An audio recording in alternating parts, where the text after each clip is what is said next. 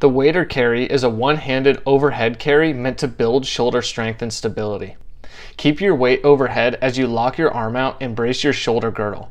Proper shoulder and midline bracing is crucial in order to keep your joints stacked and the body straight.